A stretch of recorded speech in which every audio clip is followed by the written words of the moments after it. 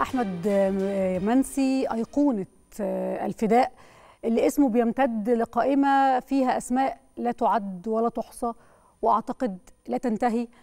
قدموا أرواحهم الغالية فداء لهذا الوطن علشان نحيا آمنين سالمين مطمئنين في هذا الوطن. اسم أحمد منسي هيفضل محفور بحروف من ذهب.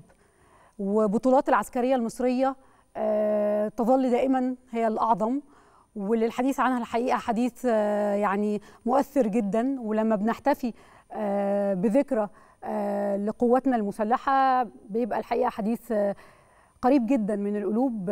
فتحية لكل شهدائنا وتحية لأهلهم وتحية غالية لأرواحهم الغالية اللي يعني لولاهم ما كناش هنقدر إن إحنا نعيش ونكمل في هذه البلد.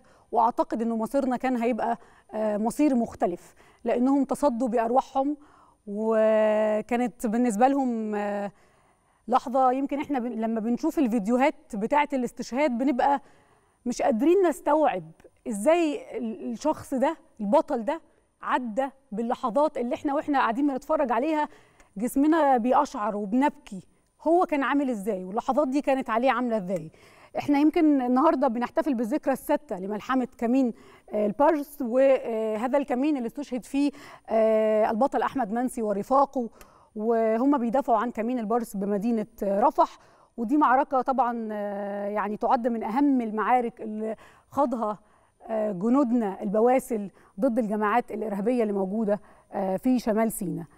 زي ما حضراتكم عارفين الملحمة دي ابتدت الساعة 4 الفجر يوم 7 يوليو 2017 ويعني بدأت بظهور سيارة مفخخة من بعيد وابتدت الحراسة تنادي حرس سلاح لتعلن بدء ملحمة جنود الجيش المصري البواسل ضد الإرهابيين.